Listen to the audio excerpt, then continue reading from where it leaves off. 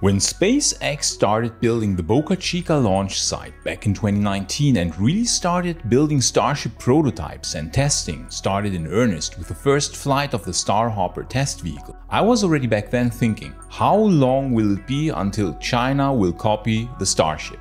Because as the years went by and we saw more and more Starship tests, and it became more obvious that indeed the Starship and Super Heavy system will work, it was clear that it was just a matter of time until we would see a one-to-one -one copy of Starship from China.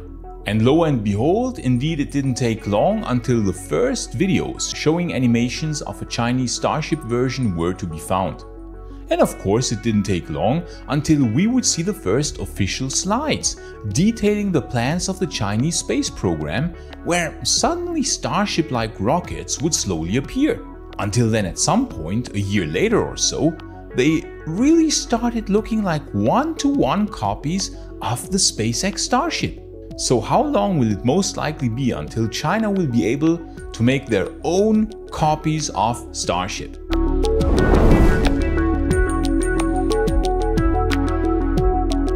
China's super heavy lift rocket is called the Long March 9 and its design was first unveiled as early as 2009. Back then it was still designed to be a non-reusable, meaning a fully expendable classic rocket, kind of resembling the SLS, or maybe even the older NASA designs of the Ares 5 rocket from the old Constellation program which was discontinued in 2010. This first version of the Long March 9 would have had a payload capacity of at least 100 metric tons to low Earth orbit. Then, for a long time, there was not a lot going on with the Long March 9 rocket, we just saw some brief animations here or there. The use of this rocket is of course launching heavy payloads to the moon, so the goal will be to use the Long March 9 in order to build inhabited moon bases and later possibly even send people to Mars. It was then in June of 2021 that we would see another iteration of the Long March 9 in a presentation by the state-owned China Aerospace and Technology Corporation, CASC in short. Now suddenly, the rocket didn't have any side boosters anymore like NASA's Space Launch System, but it suddenly had become one single body design the capacity to low Earth orbit was now given at 150 metric tons, which is quite impressive considering that this is about 40% more than the Saturn V rocket had. But the design iterations went on. In 2022 then, we would see a slide on which the Long March 9 now suddenly had a unibody design and the second stage had exactly the same width as the first stage which was not yet the case in the previous design iteration. In 2023 then, a first model of the by now partially reusable Long March 9 was shown, and by that point it also had grid fins, similar to the ones on the SpaceX Super Heavy booster. And then finally in April of 2023, CASC showed this slide here, where the transformation to an almost perfect one-to-one -one Starship clone had been completed. Now the diameter was given with 10.6 meters, which is 1.6 meters wider than Starship, and the height was given with 114 meters. The payload capacity to orbit was still at 150 metric tons in expendable configuration and 50 metric tons in reusable configuration, which is less than what the SpaceX Starship Super Heavy will be capable of. Of course, the engines were also copied from SpaceX, where this thing would be powered by Chinese analogs of the Raptor engine, burning liquid methane and oxygen, very much the same as in the Starship.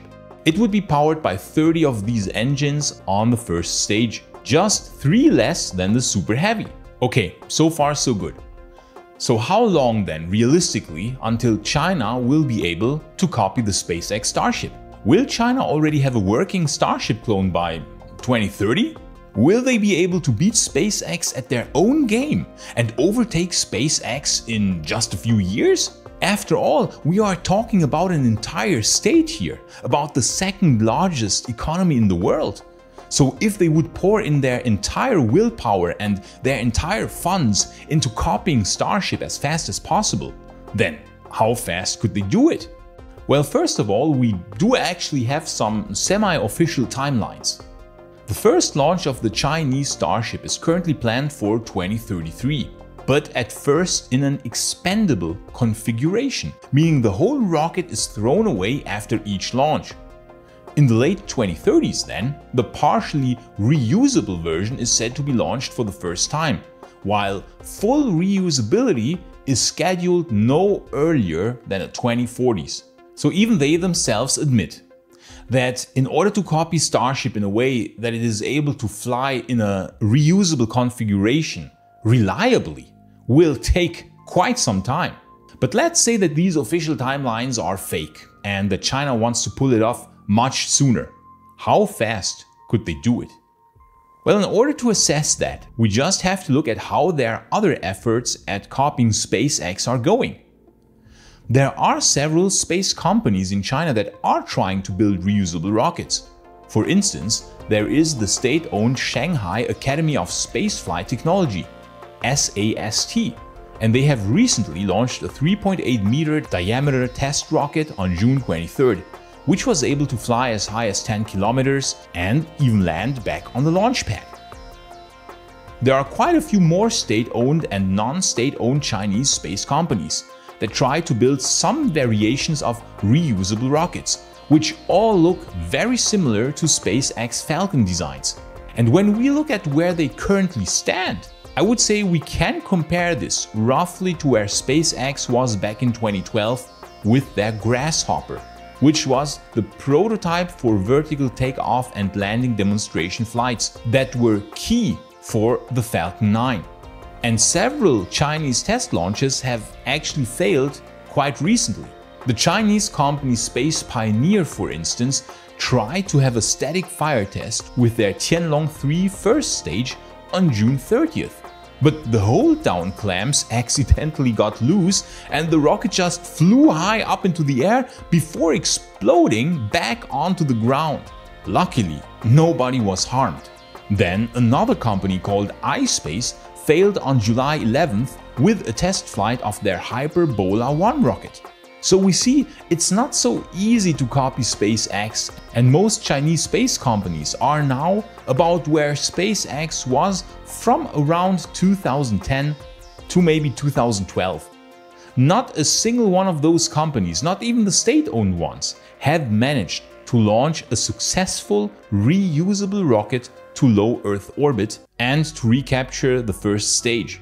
This is by the way something that SpaceX has already achieved now almost a decade ago in 2015. So China is lagging behind SpaceX by about 12 to 14 years.